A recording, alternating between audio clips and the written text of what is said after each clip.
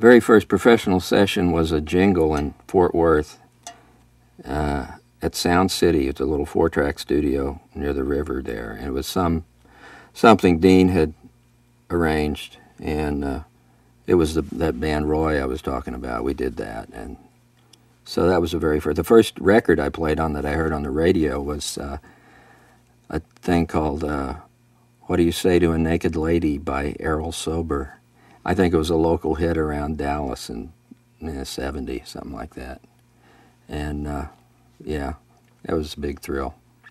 There was just a tremendous amount of recording going on. Uh, a lot of live TV, and uh, uh, I was before synthesizers, so every TV show had a band, usually a big band, and uh, you know records, uh, of course, but uh, it was uh, there were all different kinds of sessions. A lot of them were strictly reading. You'd go in and just read a chart down. Uh, the Motown, I got to do some Motown stuff for uh, a arranger named Gene Page and, and some others. But Gene had studied James Jamerson to a T, and he'd write out these bass lines that were like Jamerson bass lines. And you had to go and read them. He wanted every 16th note. I was in LA nine years and was kind of planning to move when I could from the beginning. You had to meet people and just, you know, get to know them. And everybody had, you know, most people had stereotypes of a rock and roll guy from California, you know. So, uh, and one of the first people I worked with was Larry Londin.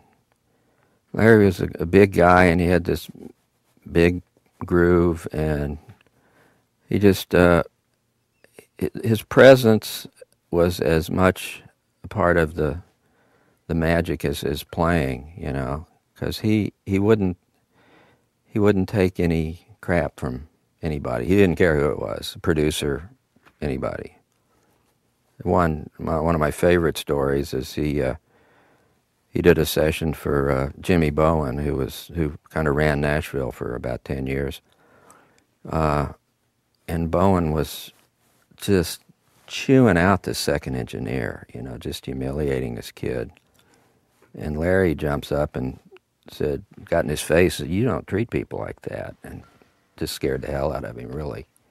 And, uh, and he, uh, you know, he, he probably could have done $40,000 worth of work for that guy a year, and he didn't care. You know, he just, uh, he wouldn't, he wouldn't stand by and see anybody, uh, treated badly, which is a real comforting presence a lot of times on sessions. It used to be. We were like instant friends, and uh, he did a, a, whole lot to help me get uh, to break in. And I had already worked for Kyle Lehning in uh, in California, and on the England Dan and John Ford Coley stuff, and uh, and I had worked for David Malloy on Eddie Rabbitt, on Suspicions, and was it driving my love a rainy night i think or driving my wife away. I don't remember which one. Driving my wife away on a rainy night. That's it. but uh, so anyway so i had a couple little connections there and then jim ed norman was uh, already a successful producer here and he and i had played in the trombone section together at north texas state. He's another reformed trombone player. You know everybody's got a different story. My a different path, and, and a lot of it's just luck. You know, with me, it was just if I hadn't gone to school with Dean Parks, you know, I'd who knows, I'd be selling insurance someplace, maybe. Who knows? But uh, a lot of it's just I. One thing I always did was to try to always play with the best musicians I could play with, even if it meant taking a pay cut. You know, uh, that I guess uh, you know that's that's one one thing that's that's kind of pretty good advice. I think.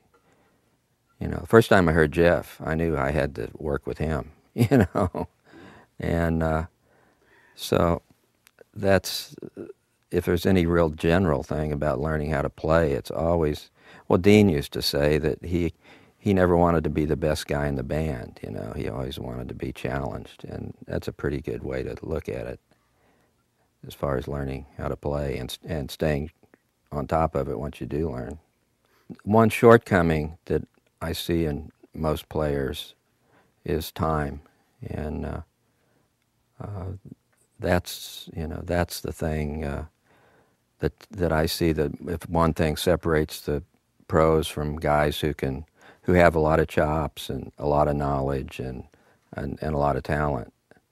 Uh, a lot of them just don't don't put enough emphasis on time and feel. And uh, developing that's, you know, there are various ways to do it, but uh, I guess that's that's probably the the main thing. And most most guys tend to rush, you know, if they're